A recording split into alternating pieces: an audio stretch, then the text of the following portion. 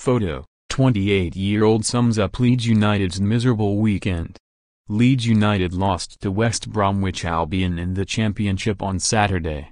Leeds United suffered their worst defeat of the season on Saturday evening, as Marcelo Bielsa's side got hammered 4-1 by West Bromwich Albion. The West Yorkshire outfit headed into the match against West Brom at the Hawthorns high on confidence, but Darren Moore's team destroyed them. Leeds fell apart in the second half, as West Brom scored four goals in reply to just one.